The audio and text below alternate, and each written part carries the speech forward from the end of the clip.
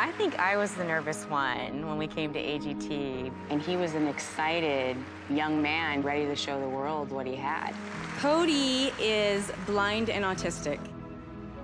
We found out that he loved music really early on. I didn't even know what to expect. We were all on the edge of our seat, you know. I was like this, standing up to go, right, we're calling it a day. I remember that performance. And I thought, this is too much pressure, and I literally had got out of my seat. And that's when he started singing. That's when he started. I've been to so many places in my life and time. I'm going to remember this moment for the rest of my life.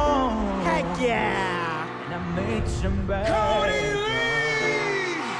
When he won, the first thing that popped in, in my mind was the whole world just won. 10,000 people watching. It was so amazing. We're here with the great Kodi Lee. Kodi Lee will be performing in Las Vegas. That was a lot of people recognizing me, huh? You changed the world. You changed the world. You did. Please welcome Kodi Lee. I get to see him live a life like anybody else. Going to his first job. Hey, everybody! Oh my gosh, I buy a new house. AGT really changed my life.